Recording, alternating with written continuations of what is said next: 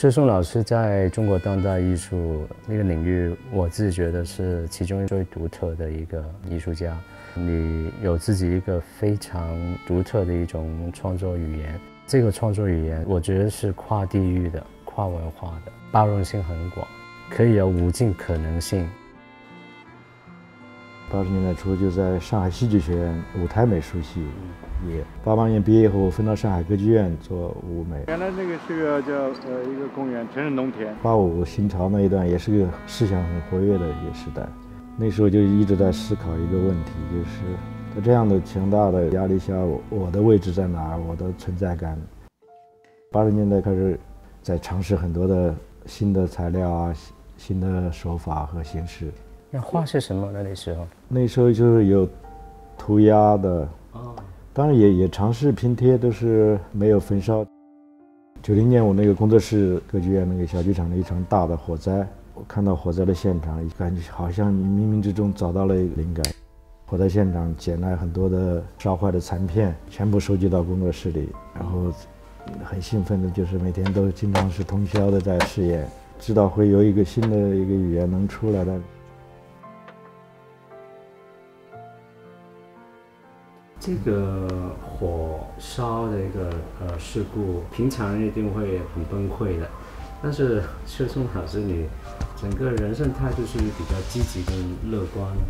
你觉得是不是因为有自己一个比较乐观的一种性格来，从而你会看事情是从一个另外一个角度去看？因为现在是已经过去式了，当成故事在讲。其实，在当时是一个很绝望的状态。最我只是对材料本身感兴趣，因为只感觉这个这个材料本身的这个语言很特别。到九二年、九三年就开始这个材料本身做出有意思的形象了。一般我们看到中国当代艺术家六十年代出生的这一批的艺术家，很多时候他们在作品表达的历史的一种回忆，或是还有一种很强烈的批判，或者是有自己一种悲情的经历去表达出来。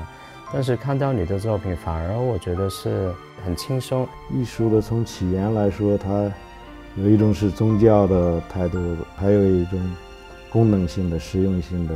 我更倾向于游戏的态度来来做艺术，是是我比较开心的一个事。作为那个六十年代出生，从那个政治的压力到转到经济、消费文化的压力，还有来自传统的几种的压力，我想。用我的方式怎么解放，把它破坏掉？还有我在焚烧这个大师的作品的时候，也有一种快感的。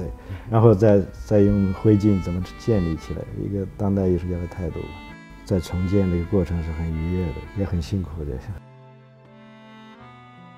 在美术史里面，薛松老师的名字一定不会陌生。大家看到薛松老师拼贴，会呃归类为呃一个中国的波普。那艺术家自己本身，你觉得自己是不是应该是归类成为波普了？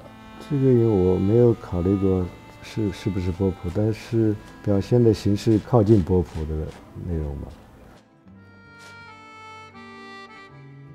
我觉得你拼贴只是一种手段，但是这个手段确实带给这个市场其实有很多的惊喜。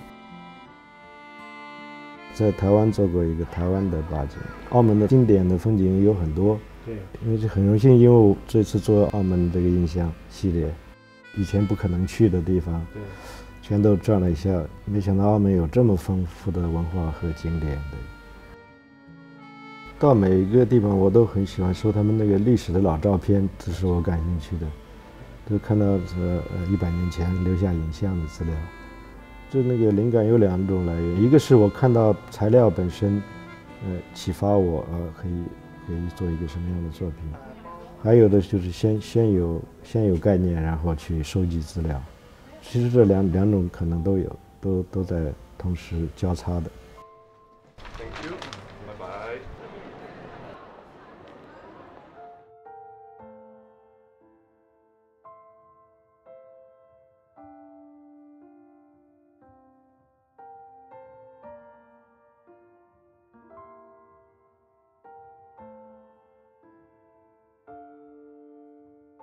我记得我在做整个嗯策展的时候，一开始是有一个概念的，将澳门联系起来，然后将世界带带带到中国，将中国带到世界。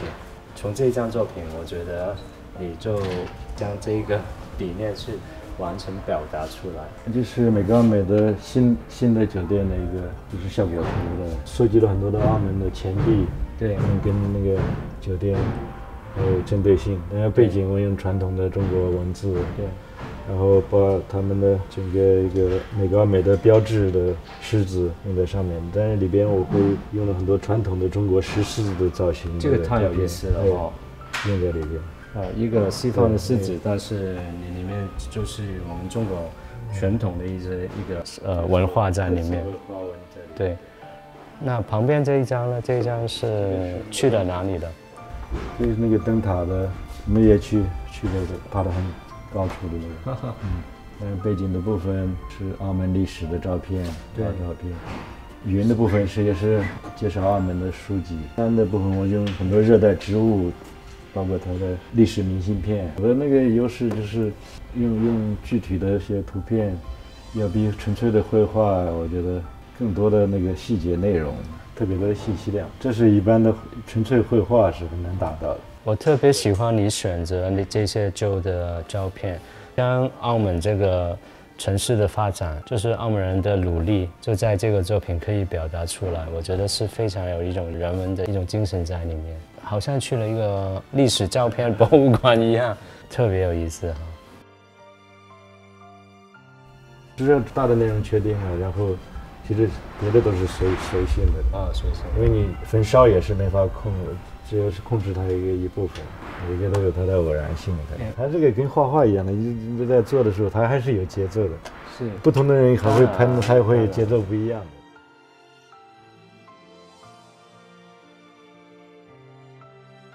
这这个本身这个雕塑好像是一个葡萄牙的一个著名的雕塑家，他们走是送给澳门的一个礼物的。这个你用了特别多呃中国传统。图像，比如说以前的一个古对山的部分，对，用几种那个像铜古铜的颜色。画一个，对，这个也是莲花，很有代表性，对，好看。这个天空部分，我就。就感觉这个塔观光塔就是看看到的我整个澳门的俯视的航拍的那些图片，对，差不多涵盖整个澳门的，是好像就是在塔塔 塔顶看出去，嗯哇，也有一些是六七十年代的，我相信。像那个山的部分，其实我也像是有烧剩的灰是做的，然后一种材料感。这是那个是这个呃大桥嘛？对，但这但是画出来结构就清楚。这个塔我是全部用的那个传统的吉祥的纹纹样，海水的部分也都是澳门的经典哈。我非常喜欢这个概念，因为这个概念可以让艺术家走进每一个不同城市或者是国家，认识当地的文化、人与事、一些历史故事，然后透过呃艺术家自己的一种经验去表达。对当地的一种自己的看法，或者是自己的情感。现在我们生存在这个碎片的时代，说接受的信息就是五花八门，可以从手机上、互联网上面会越来越多。其实现在真是收集材料和截取图像比以前要方便很多，都是能得到的信息量的。十一十一就是新中国了嘛，我主要这这一段的是这一段的。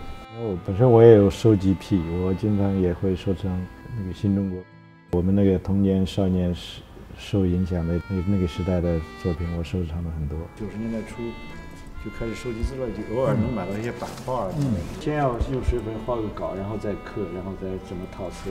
从那就开始，哎，我觉得这个有意思，就碰到了就买点。那个味道是不一样的。所以还是你看书看报纸，还是要闻到那个印刷的要墨水的味道哈。你找一张旧的照片，或者是在那个电脑上面打印出来，其实也是感觉不一样的。像我们这个年龄，对这个新的数数码时代的还是有点陌生。当然，我们的更更拿手的还是手工的所有的这种在制作的过程。我这个拼贴其实像纯粹的油画家的每一个碎片，其实都是像油画家的一个笔触一样，对一块一块。我只是用材料呃替代它了。对。